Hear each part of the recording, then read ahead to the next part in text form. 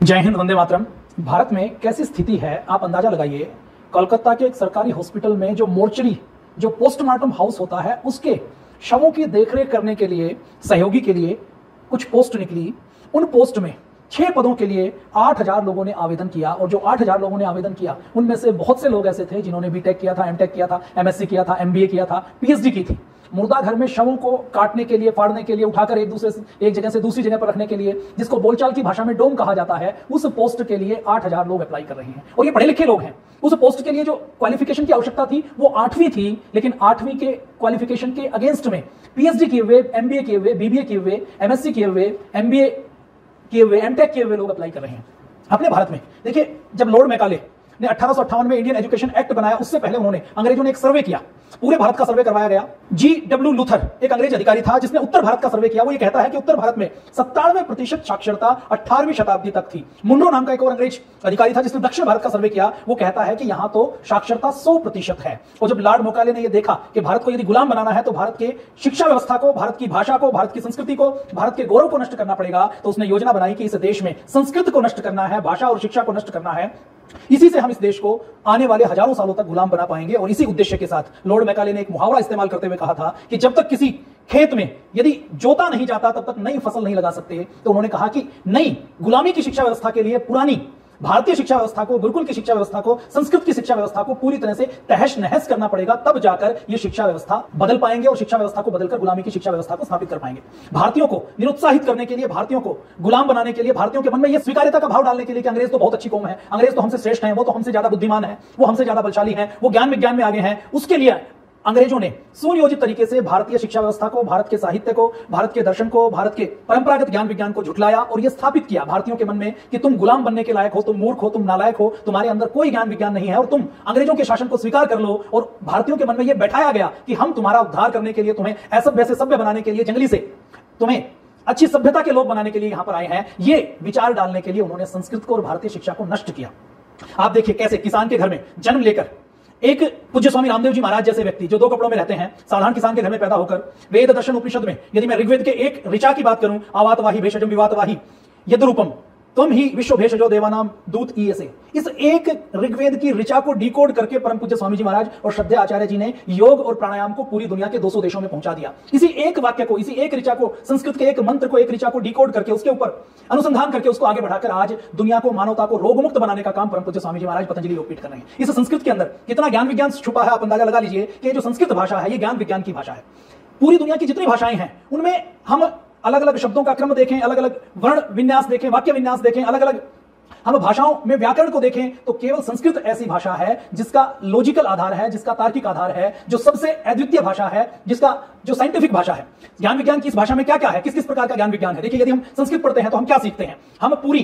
Water engineering सीखते हैं hydraulic सीखते हैं, जल विद्या सीखते हैं, वायु विद्या सीखते हैं। और ये जब जल विद्या की हम बात करते हैं तो केवल पानी नहीं है। जल विद्या की हम बात करते हैं तो इसमें सारे द्रव्य आते हैं वायु विद्या की बात करते हैं तो सारी गैसेज आते हैं विद्युत शास्त्र की बात करते हैं विमान शास्त्र की बात करते हैं स्वास्थ्य के शास्त्र की बात करते हैं कोरोना के काल में आयुर्वेद ने बताया कि किस प्रकार से आधुनिक विज्ञान पिछड़ा हुआ है और आयुर्वेद आज भी प्रासंगिक है खगोल विज्ञान की बात हो वस्त्र विज्ञान की बात हो गणित विज्ञान की बात हो शिल्प कला की बात हो काल गणना की बात हो खगोल शास्त्र की बात हो रसायन विज्ञान की बात हो स्थापत्य कला की बात हो वनस्पति विज्ञान की बात हो सृष्टि विज्ञान की बात हो कृषि विज्ञान की बात हो प्राणी विज्ञान की बात हो ध्वनि विज्ञान की बात हो वाणी विज्ञान की बात हो पर्यावरण विज्ञान की बात हो सौर ऊर्जा की बात हो सौर विज्ञान की बात हो भूगोल विज्ञान की बात हो पृथ्वी की शास्त्र की बात हो सूर्य शास्त्र की बात हो नीति शास्त्र की बात हो तर्क शास्त्र की बात हो विधि शास्त्र की बात हो ज्योतिष की बात हो नक्षत्र विज्ञान की बात हो खगोल शास्त्र की बात हो नृत्य की बात हो संगीत की बात हो चित्रकला की बात हो जीव शास्त्र की बात हो बाँध बनाने की बात हो पशुपालन की बात हो रथ निर्माण की बात हो लोहकार की बात हो कुंभकार की बात हो नौका शास्त्र की बात हो अग्नि यान अग्नेस्त्र बनाने की बात हो, नगर रचना की बात हो मुद्रा शास्त्र की बात हो गृह निर्माण की बात हो, युद्ध विज्ञान की बात हो समाज शास्त्र की बात हो, ये सारा ज्ञान विज्ञान हमारे वेद वेदांग दर्शन, धर्मशास्त्र और संस्कृत में निहित है, संस्कृत में लिखा हुआ है। नालंदा नाम का एक विश्वविद्यालय था, लगभग आठ सौ साल पहले, एक हमलावर आया, अस्सी लाख पांडुलिपियों को जला दिया, छह महीने उसकी लाखों की सेना, उसके ऊपर उन पांडुलिपियों को जला जलाकर पानी गर्म करती रही, आग में झोंकती रही तो भी आज संस्कृत का विपुल साहित्य हमारे देश में बचा हुआ है। लेकिन इस ज्ञान विज्ञान को डिकोड करने के लिए, इस ज्ञान विज्ञान को आगे बढ़ाने के लिए संस्कृत के विद्वानों की आवश्यकता है। संस्कृत के शिक्षकों की आवश्यकता है। और आवश्यकता केवल भारत में नहीं है, भारत के बाहर भी इसकी आवश्यकता है, क्योंकि केवल एक संस्कृत भाषा ऐसी है, जिसके शब्दों का क्रम यदि हम उलट दें तो भी उसका अर्थ नहीं बदलता। नासा ने ऐसा शोध किया है कि यदि हमें अंतरिक्ष में कोई संदेश भेजना है तो अंतरिक्ष में जो शब्दों का क्रम बदलता है, यदि हम संस्कृत में भेजें तो शब्द शब्दों का क्रम बदलने से भी उसका अर्थ नहीं बदलता। तो नासा आज पाणिनि की अष्टाध्यायी के ऊपर, संस्कृत के व्याकरण के ऊपर शोध कर रहा है। हज़ारों की संख्या में पांडुलिपियाँ उसने अपने पास रखी हुई है कि हम भारतीय ज्ञान विज्ञान से क्या निकाल सकते हैं उसको निकाले आपको जानकर आश्चर्य होगा। आयुर्वेद में हल्दी पर, अदरक पर, अजवाइन पर, अश्वगंधा पर, तुलसी पर, सौंफ पर, गिलोय पर, भारत में जितने शोध हो रहे हैं, उससे ज़्यादा शोध विदेशी कंपनियाँ कर रही हैं। यूरोप की, अमेरिका के लोग कर रहे हैं, वहाँ की सरकारें कर रही है, भारतीय ज्ञान विज्ञान को। भारत की बौद्धिक संपदा को वो चुराना चाहते हैं। आपने सुना होगा, कभी वो हल्दी पर पेटेंट ले लेते हैं, कभी वो नीम पर पेटेंट ले लेते हैं। कारण क्या है कि हम संस्कृत भाषा में विद्वान ना होने के कारण हम उसके ऊपर अपना क्लेम नहीं कर पाते, उसके ऊपर अपना कॉपीराइट नहीं जता पाते, उसको अपना पेटेंट नहीं बना पाते, उसके ऊपर हम अपना ट्रेडमार्क स्थापित नहीं कर पाते। तो हम, हमने क्योंकि अपनी भाषा की उपेक्षा की है तो हमारी संस्कृत के अंदर इतना गहरा ज्ञान विज्ञान है कि वो अस्सी लाख पांडुलिपियाँ जो लगातार आक्रमणों से जला दी गई, उसके बाद भी आज भी जितना कुछ हमारे पास बचा हुआ है, उससे हम पूरी दुनिया की सबसे बड़ी महाशक्ति बन सकते हैं। आवश्यकता केवल इस बात की है कि हमें संस्कृत के व्याकरण को, संस्कृत की भाषा को महत्व देते हुए अपनी आने वाली पीढ़ी तक इसको पहुंचाना है। देखिए, हमारे जो वेद, वेदांत, दर्शन, धर्मशास्त्र है, उसमें केवल कुछ चीज़ें नहीं है। प्रत्येक प्राणी के सुखी जीवन के लिए, संतुलित व संपूर्ण विकास का जितना, जितने ज्ञान की आवश्यकता है, वो सब हमारे संस्कृत के वांग्मय में निहित है। 600 ईसा पूर्व, लगभग आज से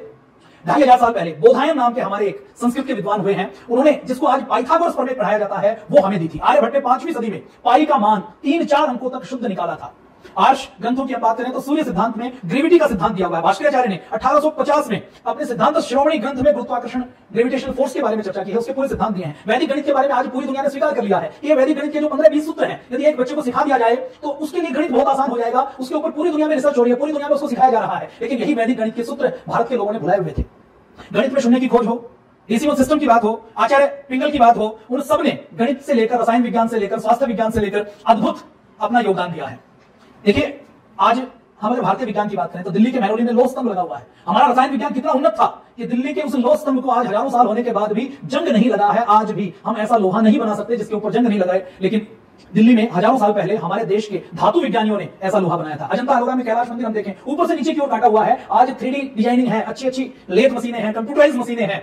जेसीबी से लेकर बहुत सारी चीज़ें हमने बनाई हुई है, लेकिन उस मंदिर की डिज़ाइनिंग की अगर हम बात करें, उस मंदिर को यदि आज की तकनीक से हम बनाने की बात करें तो आज की तकनीक से उस मंदिर को हम बना नहीं सकते, ऐसा शिल्प विज्ञान भारत के अंदर रहा है। ऐसी सिविल इंजीनियरिंग भारत के अंदर रही है। और देखिए, ये जो हमारे संस्कृत में ज्ञान विज्ञान है, वो अणु से लेकर, परमाणु से लेकर मानसिक क्रिया के एक एक विचार से जो तरंग उत्पन्न होती है उस तक, नक्षत्रों के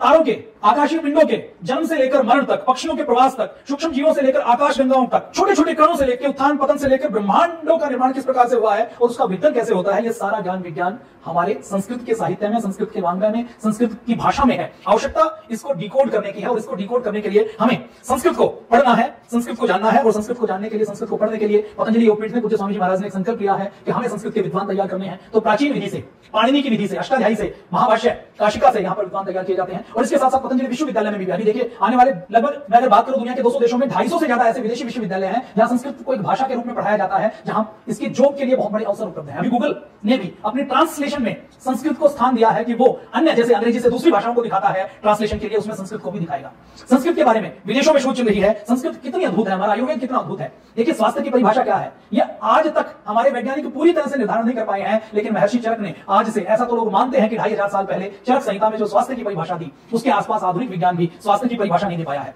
तो इस संस्कृत भाषा को पूरा सीखने के लिए, इस ज्ञान विज्ञान को पूरा प्राप्त करने के लिए पतंजलि ने एक अभियान चलाया है, पतंजलि विश्वविद्यालय के माध्यम से। आप पतंजलि विश्वविद्यालय से जुड़कर उसमें प्रवेश लेकर अभी तत्काल नीचे दिए गए नंबर पर संपर्क करके आप यहाँ पर फ़ोन करके बीए संस्कृत साहित्य में, संस्कृत व्याकरण में, संस्कृत